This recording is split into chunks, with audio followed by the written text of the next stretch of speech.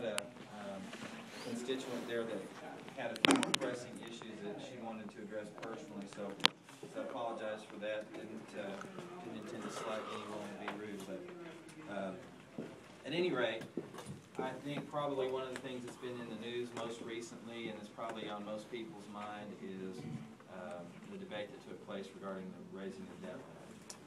And most of you, and I- know a lot of you, been with me through the campaign, and we've been down here a couple of times, and you- and you're supporters, and I appreciate that. And so you're probably um, wanting to connect some of the dots with how this whole deal went down. So I'm gonna connect the dots for you, because as you recall, uh, in the campaign, I said I was opposed to raising the debt limit, and I still am opposed to raising the debt limit. However, I voted to raise the debt limit, and here's why. Um, Every budget that's been proposed today in our Congress, the hundred twelfth Congress, required a debt limit increase.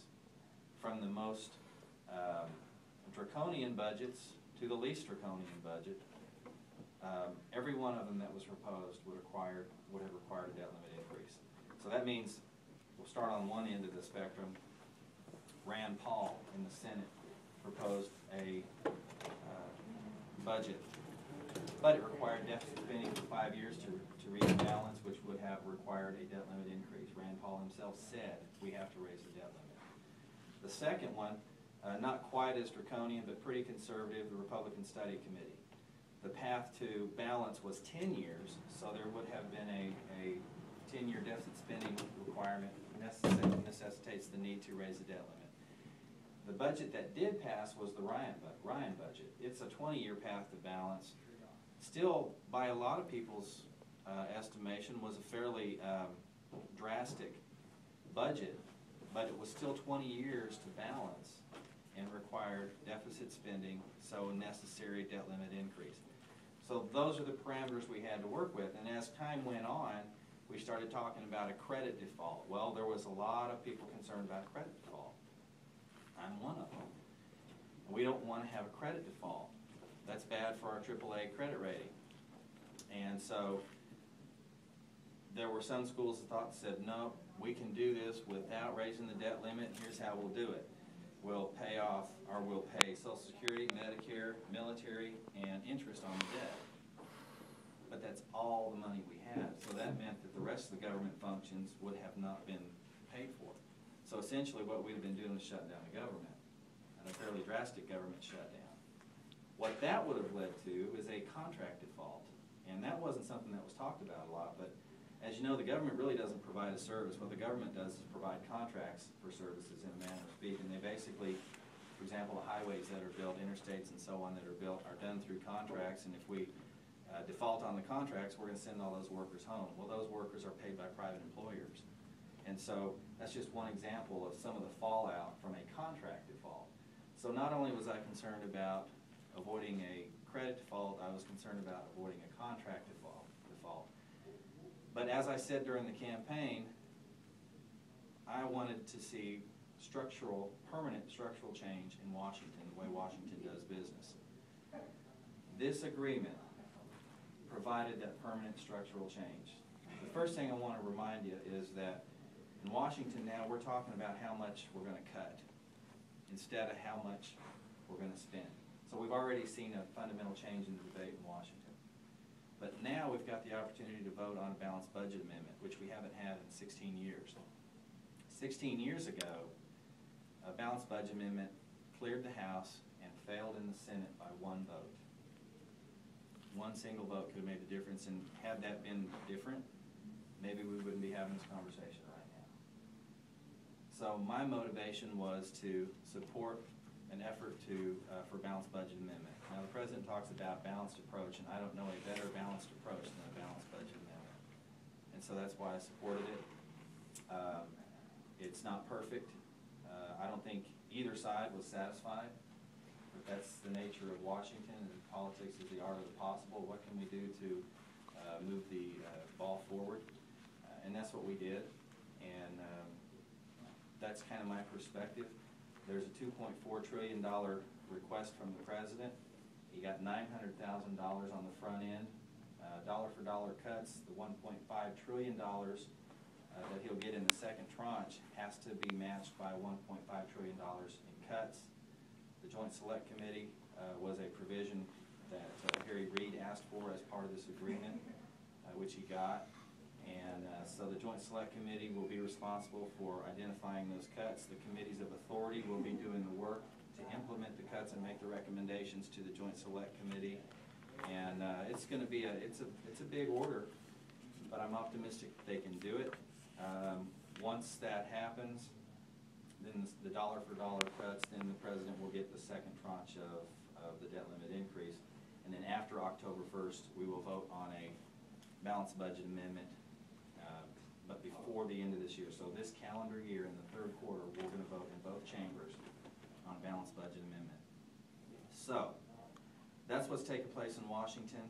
And what I'm gonna ask of you is if you feel as strongly as I do about a balanced budget amendment, I'm gonna ask you first, write me a letter, send me an email, let me know about it. And second, do the same to your senators and, uh, let them know how you feel about it. Because this will be voted on in the House and the Senate, and we wanna make sure that we don't have one vote that prevents us from passing a balanced budget amendment and a repeat of nineteen ninety-six. And, uh, we're back here in fifteen years trying to explain why we kicked the can down the road yet another time. How's it going? Pretty good, how are you doing?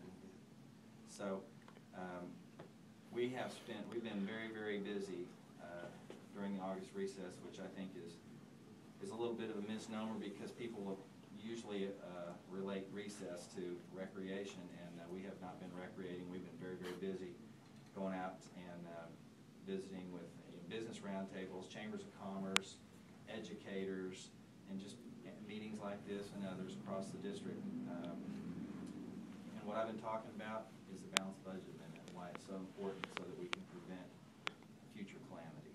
And, I- and I've told other folks this today, the balanced budget amendment is not about the bad times. We pass a balanced budget amendment tomorrow. That's not gonna immediately get us out of this situation.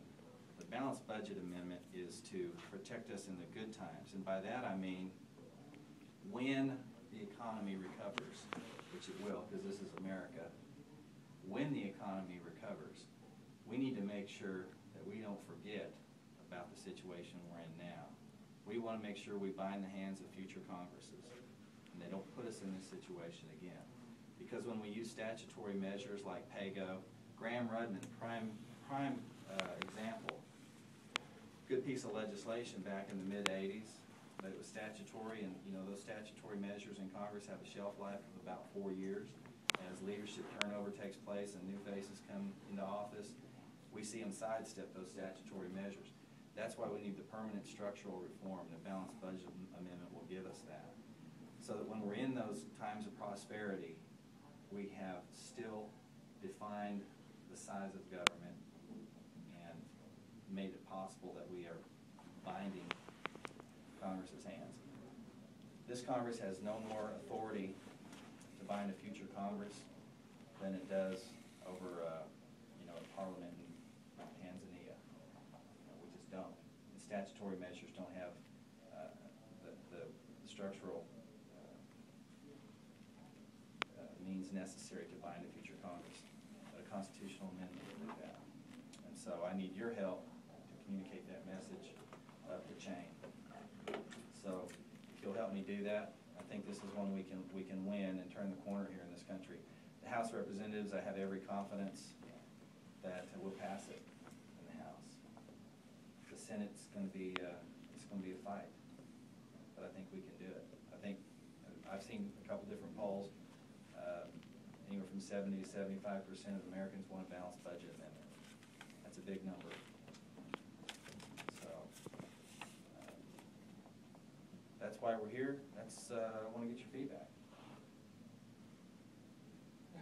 What about, what about, uh, uh, Mr. Obama coming out here now with this job program? What do you know? Somebody's gotta know something about it. Well, uh, actually, Then- usually, then just usually when they, hush. when they get ready to make a big release like that, they will, um, send out a, the text of it to the leadership. And leadership, I, ju- I got an email earlier today, leadership still doesn't know anything about what this jobs program announcement is gonna be. so we don't have the slightest clue what to